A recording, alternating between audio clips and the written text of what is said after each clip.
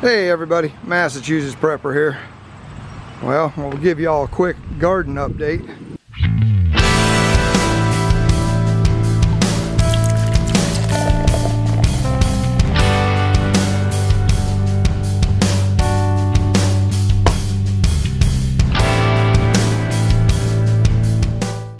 There, we got the phlox and the daisies, they're still going strong.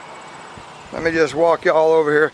Next year I'm gonna have to take and stake up all of these gladiolas because the winds and the rains have just pounded them down. Uh, we got this nice sunflower here that's probably close to seven foot tall. It's at least six foot something. But look at all these glads. The wind and the rain has just beat them right down. They're still flowering and everything, but yep, it's a mess. So next year, I'll take and stake them up, run some twine, and that way uh, they'll have a little support. Yeah, I got a, a mess out here, trying to do some organization, get things switched around. Got a little building project going on. The asparagus, doing pretty good. Uh, we may have some asparagus next year. Down in here, we got a, an acorn squash coming. So it looks like we're gonna have a couple of those come on here. We got some a few beets in here. They ain't doing too bad. I don't know if we're gonna get any peppers off from these. And of course those are green tail onions. Might get some peppers, I don't know. It's gonna be a late fall crop if it is. Of course, we took all the potatoes out of here. I don't think I'm gonna plant anything else in here this year. But, look at the corn. We got some corn starting to come on. We got tassels all on it. And we do have ears of corn coming down here. Some more up in here. I have some bigger ones on this side, as you can see some more here. So it looks like we're gonna get some corn. Won't be a lot, but this was kind of a trial. I didn't know how well corn was gonna do in the raised beds.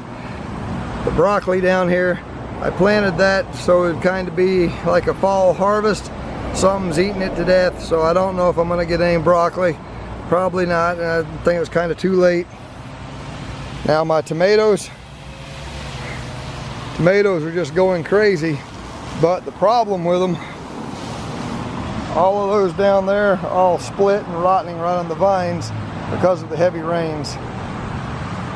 We've had a lot of rain and the, what the tomatoes are doing, just reach in here and grab this one. You can see they're just splitting. Uh, they're still viable at this at this stage. Uh, I can take that in and we can still use it. But just so many of them were just rotting right on the vine strawberry beds putting out a lot of runners. I'm planting a lot of these runners up on my back hill. Uh, let some strawberries take over up there. My larger onions this is how wet it's been guys. We got little mushrooms growing in the raised beds. So that gives you an idea of just how wet it's been. Cherry tomatoes and I'm really starting to think that those over there, even though they said they were beefsteak tomatoes, I'm really thinking they were cherry tomatoes because they stayed small and about the same size as these cherry tomatoes right here. The green beans, the heat and the rain really taking their toll on them. Um, we're gonna get another harvest of beans. There's more flowers more beans coming on. We also got some bugs in here eating on them. So, you know, I am doing this all natural, but I may have to take and dust them with something. Peppers, we got some nice peppers, the bell peppers. Look at these guys. They're just coming right on like gangbusters. So, you know, we're definitely gonna get another nice harvest. I mean, just a bunch of peppers. And then we got the watermelons. You know, yep, growing watermelon in Massachusetts. Some good sized watermelons. This one here is rotting on the end. So uh, it might not make it. Got another one down there on that far end. And we got a big boy right in here. Look at the size of this one. And it's rotting on the end.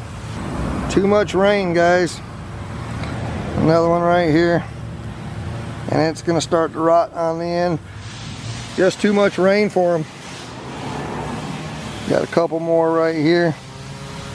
You know, I keep moving them, hoping that they won't rot. These tomatoes in here. Another watermelon right there, and it's rotting on the end too. Pretty much all my zucchini rotted right on the vine. I got spaghetti squash here. Uh, this vine's about dying. Another spaghetti squash. That looks more like an acorn squash. But all the squash, that's what the zucchini did. You can see right there. But again, it's just so wet. You got these mushrooms growing in here. And where you got mushrooms, you got really damp soil. Got another nice spaghetti squash in here. This one doesn't seem to be rotting, so we might get one out of this. Looks like we may lose all of our watermelons. But then, look at these carrots, guys. And these things are starting to put on carrots. Mrs. MP picked one the other day. They're coming along quite well. The beets, they're starting to put on some nice beets. It get you down in here where you can see. As you can see right there, pretty good sized beet. There's another one there. So we're gonna get some beets. And I don't know about the banana peppers. They haven't started to flower yet. But I hope we get some banana peppers out of there. And as far as the cucumbers go, we have been getting a few cucumbers. There's none right now. We've been picking them. Well, yeah, I do see one cucumber over here. That's probably ready. Yep, this is a good size one right here. There's a nice cucumber. There's another smaller one right here beside it. It's not going to get any longer than that. We'll go ahead and pick it. And uh, these tomatoes that came up wild, they're, they're getting a few tomatoes on them. But Prepper Potpourri told me that she never had any luck with these when they came up wild. They just didn't do well. And these really have not done all that well. Uh, they're getting like one or two tomatoes on them. So that's something I won't let happen next year. If any uh, come up wild. But as you can see, it's been so wet. Look at the like mold growing on the leaves of the uh, spaghetti squash and the cucumber. Just way too much moisture. Looks like we got another nice cucumber right here.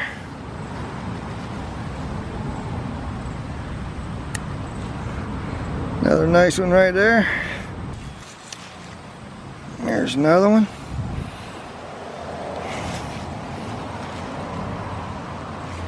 That's about all I see right there. So, you know, four pretty good cucumbers. But that's just a quick update. Those 4x4s you see in the ground over there, that's where I'm going to build my little lean-to. So I can put my snowblower in there and get the white carport down, reclaim some of my driveway. So there you go guys. That's just a uh, brief little update on the garden and what's going on. Will you survive whatever comes your way? I sure hope so. This is the Massachusetts Prepper saying, take care all.